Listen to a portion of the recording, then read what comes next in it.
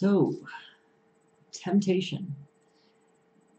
It's something that we have to think about when we're Christians, when we're working in a community with other Christians. We have to think about temptation and we have to consider the wide variety of temptations, struggles that can exist from one Christian to another.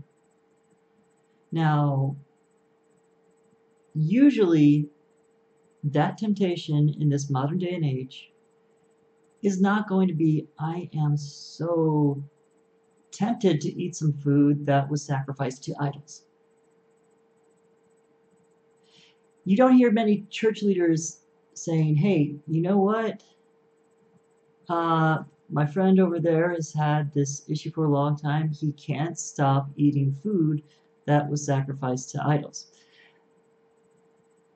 and it keeps you know making him pay homage to the statue and that sort of thing. That's a problem that the majority of countries in Europe are not going to have. I've I lived in a country where people gave food tributes to statues. I lived in Japan for a little bit and sometimes in the temples there would be like little canned goods or I've seen bananas given to statues. I assume that the priests come by and they pick them up later to to eat them. You know, um, it's good to keep people from from being hungry. Uh, but it's not a temptation that you usually think of in this day and age. It is, however, a temptation that was happening in the Church of Corinth. So we're going to read this chapter in 1 Corinthians it's chapter 8. Going to read it all the way through, verses 1 through 13. And we're gonna we're gonna have a think through this. Because even though at immediate glance there might not be the quickest applications, there actually this is a very, very valuable passage that I think can help a lot of churches that I think it could help us in day-to-day Christian living.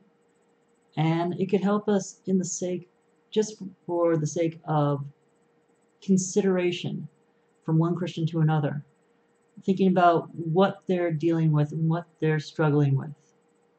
And if there's a struggle, it's worth taking seriously. But let's let's take a look at this. Now about food sacrificed to idols. We know that we all possess knowledge.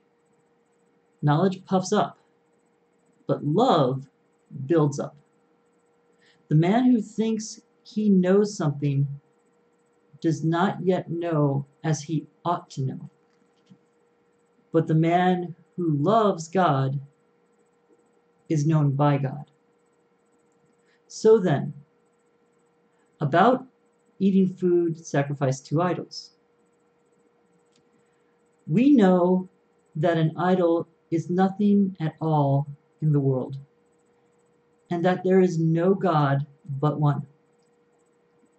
For even if there is so there are so-called gods, whether in heaven or on earth, indeed there are many gods and many lords.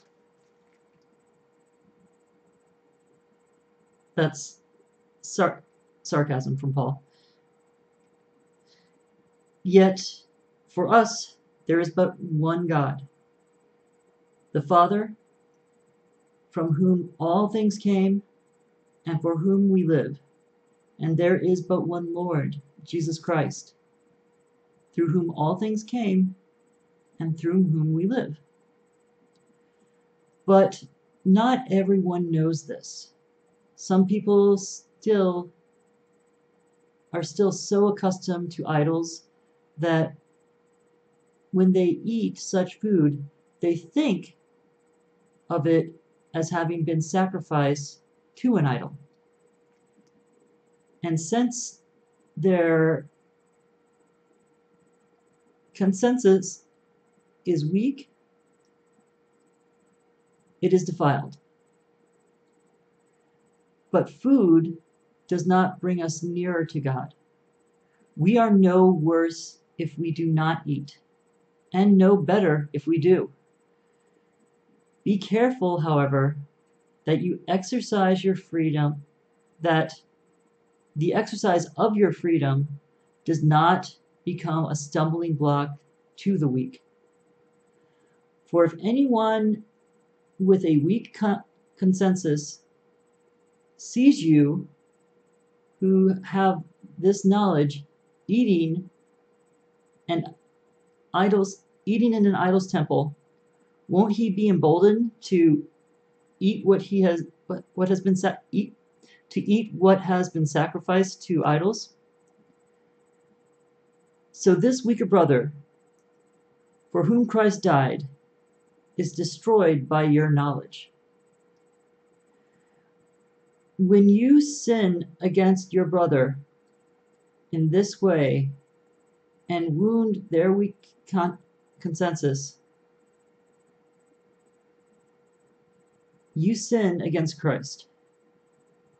Therefore, if what I eat causes my brother to sin, I will never eat meat again, so that I will not cause him to fall. Now, I think I think Paul is is sincere about that, but I also think that it's hyperbole. Now he knows that some people had this struggle, this this mental struggle where if they saw a Christian eating food that was culturally given to an idol, then they would think, okay, so I could I could pay homage to this statue because the Christians are doing it. So Paul is talking about the importance of testimonies and the reality that exists spiritually. He's talking about consideration for the weaker brothers and sisters. And that, that's very important. If I have some friends who are going to Alcoholics Anonymous and they are really, really trying to change their lives, then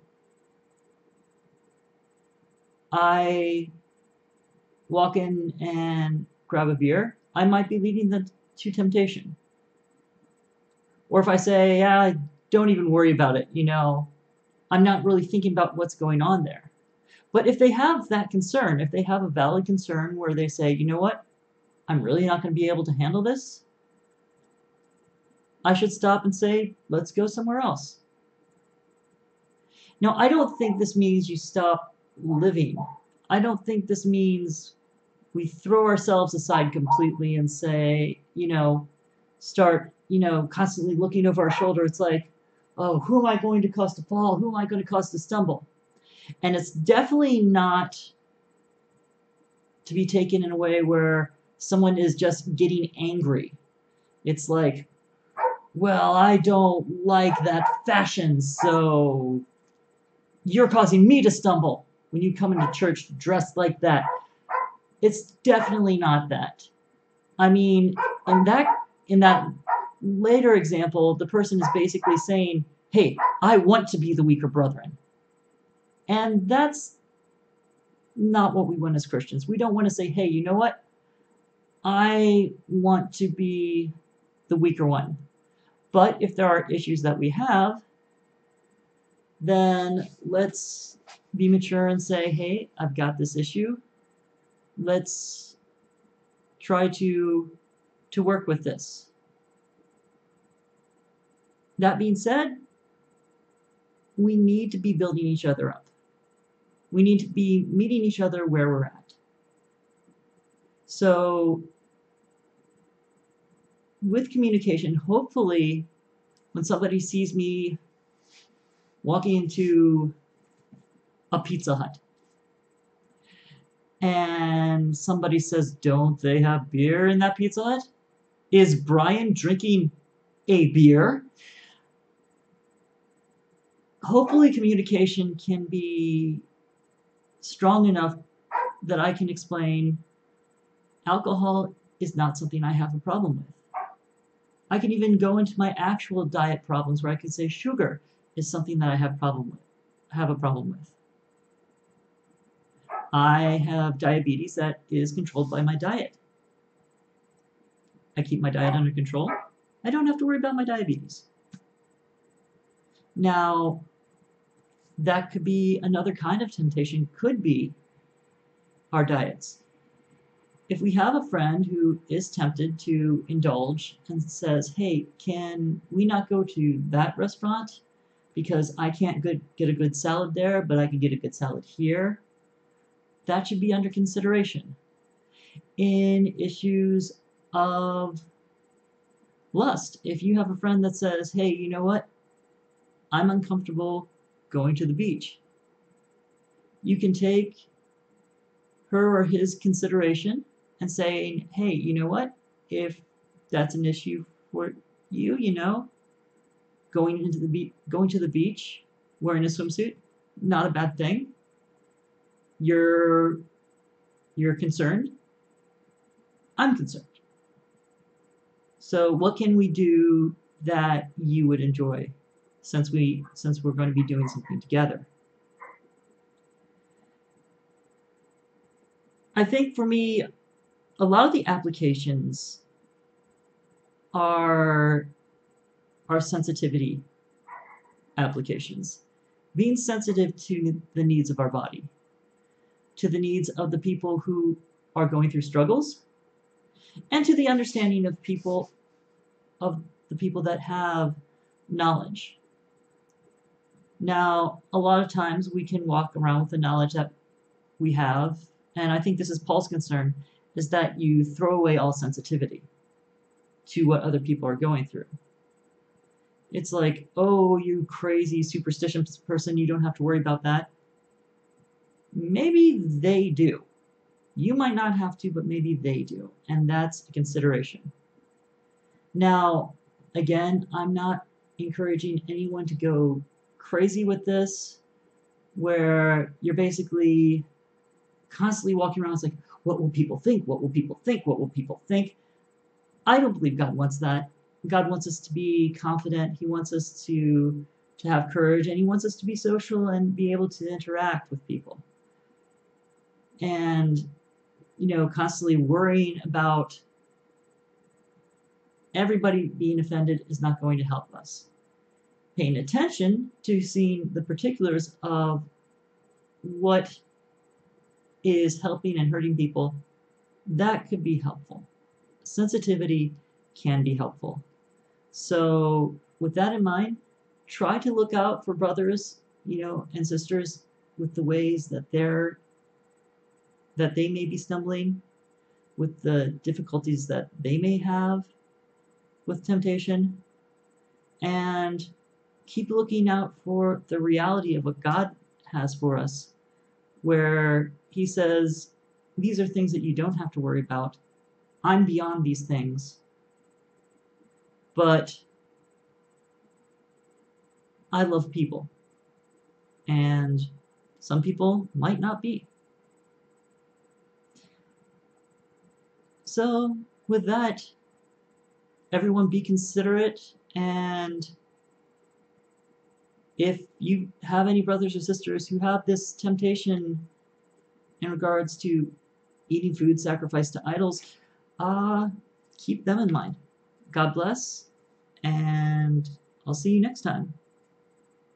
Like or subscribe, leave a comment, uh, or message me, and uh, we can chat about about temptation. All right, peace.